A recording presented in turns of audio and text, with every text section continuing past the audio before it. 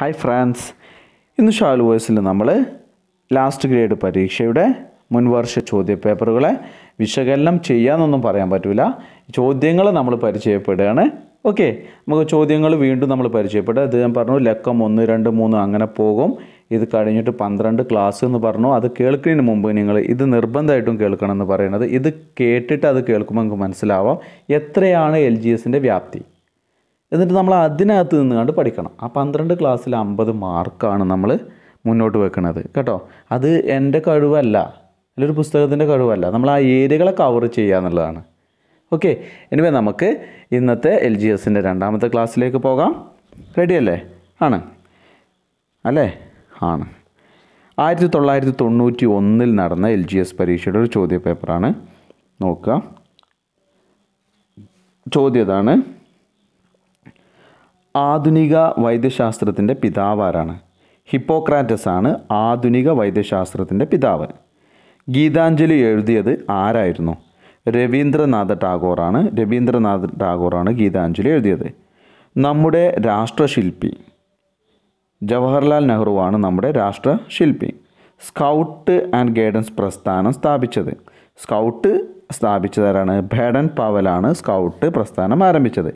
ഇന്ത്യയിൽ red cross സൊസൈറ്റിയുടെ red cross society സ്ഥാപിതമായ വർഷം. ഇന്ത്യയിൽ എന്താ റെഡ് ക്രോസ് സൊസൈറ്റി സ്ഥാപിതമായത് ആയിരത്തി തൊള്ളായിരത്തി ഇരുപത് നവംബർ അഞ്ചിന്. അടുത്തത് ലോകാരോഗ്യ ദിനം ആചരിക്കുന്ന തീയതി ഏതാണ്? ഏപ്രിൽ ഏഴിനാണ് ലോകാരോഗ്യ ദിനം നമ്മളൊക്കെ ആചരിക്കുന്നത്.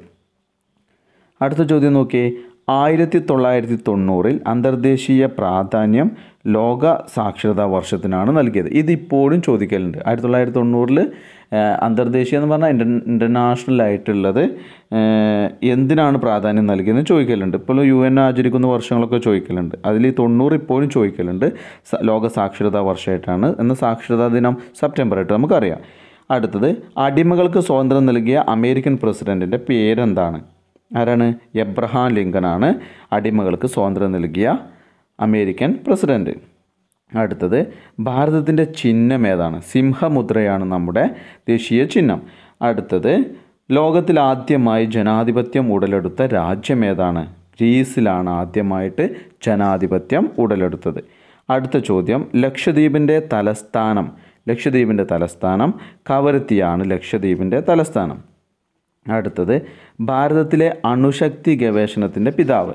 ഭാരതത്തിലെ അണുശക്തി ഗവേഷണത്തിന്റെ പിതാവ് ഹോമി ജഹാംഗീർ ഭാവയാണ് അണുശക്തി ഗവേഷണത്തിന്റെ പിതാവ്.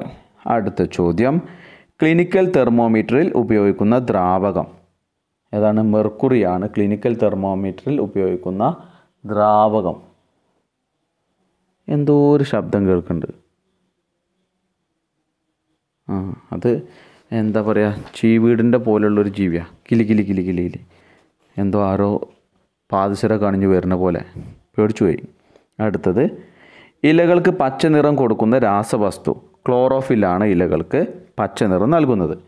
അടുത്ത ചോദ്യം നോക്കിയേ നട്ടലില്ലാത്ത ജീവികളിൽ ഏറ്റവും വലുതേതാണ് ഭീമൻ എന്താ സ്കിഡ്. ഭീമൻ സ്കിഡാണ് നട്ട് നട്ടലില്ലാത്ത ജീവികളിൽ ഏറ്റവും വലുത്. അടുത്തത് ഭൂമിയിലെ ഏറ്റവും വലിയ മൃഗം ഏതാണ്? പറയണ്ടല്ലോ?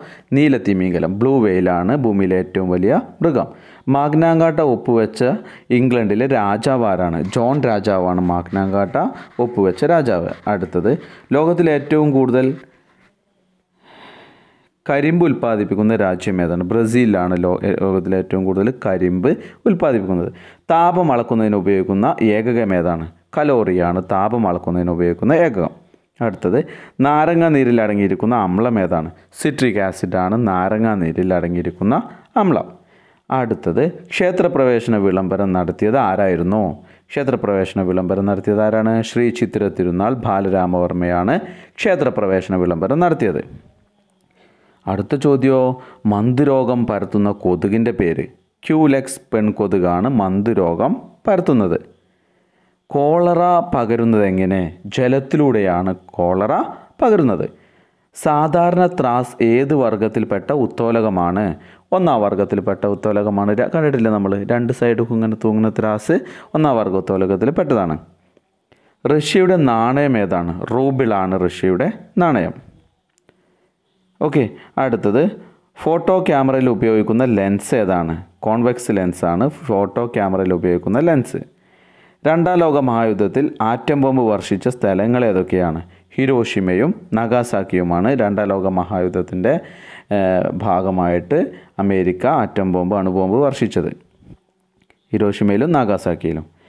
ലോക പ്രശസ്തമായ കേരളീയ കലാരൂപം ഏതാണ്? കഥകളിയാണ് ലോക പ്രശസ്തമായ കേരളീയ കലാരൂപം. രാഷ്ട്രപതിയുടെ സ്വർണ മെഡൽ നേടിയ ആദ്യ മലയാള സിനിമയോ?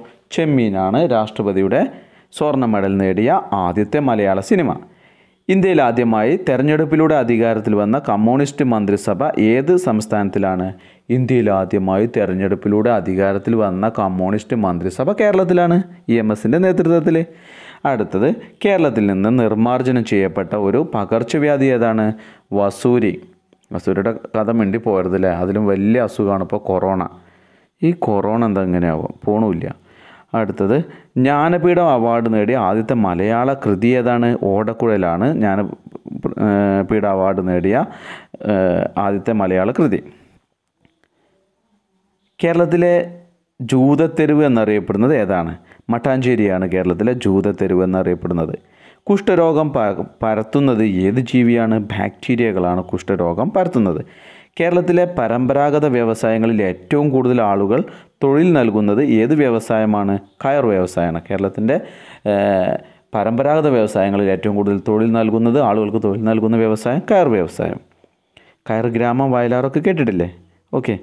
പയറുവർഗങ്ങളിൽ ഏറ്റവും കൂടുതൽ അടങ്ങിയിരിക്കുന്ന പോഷകമേ പോഷക പോഷകമേതാണ് മാംസ്യമാണ് പയറുവർഗങ്ങളിൽ ഏറ്റവും കൂടുതൽ അടങ്ങിയിരിക്കുന്ന പോഷകമെന്ന് പറയുന്നത്. ഓക്കെ അപ്പോൾ ഇത്തരം ചോദ്യങ്ങളാണ് ഇത് തൊള്ളായിരത്തി തൊണ്ണൂറ്റി ഒന്നിലെ ചോദ്യ പേപ്പറിൽ നമ്മൾ തിരഞ്ഞെടുത്തത്. ഇത് നോക്കുക നിങ്ങൾ ഇതൊക്കെ സ്ഥിരമായിട്ട് ആവർത്തിക്കുന്ന ചോദ്യങ്ങളാണ്. എനിവേ അപ്പോൾ ഈ ഇത് കേൾക്കുമ്പോൾ നിങ്ങൾ ശ്രദ്ധിക്കേണ്ടത് ഇതിന്റെ റേഞ്ചാണ് ഈ പരീക്ഷയുടെ റേഞ്ച് എത്രയെന്ന് നടന്നിട്ട് നമ്മളിത് ചെയ്യാൻ പറ്റും. ആദ്യമൊന്നും എൽ ജി എസിനാണ് പ്രൊമോഷൻ ഇല്ലായിരുന്നു. ഇപ്പം നമ്മുടെ ക്വാളിഫിക്കേഷൻ അനുസരിച്ച് പിന്നീട് നേടുന്നതൊക്കെ അനുസരിച്ച് നമുക്ക് പ്രൊമോഷനൊക്കെ ആയിട്ട് അങ്ങനെ പോവാം. അപ്പോൾ സെക്രട്ടേറിയറ്റ് അസിസ്റ്റന്റ് അവിടെ ഉണ്ട് സെക്രട്ടേറിയറ്റ് എൽ ജി എസ് അങ്ങനെ പല രീതിക്കും എൽ ജി എസ് പരീക്ഷകളൊക്കെ വരും. Anyway thank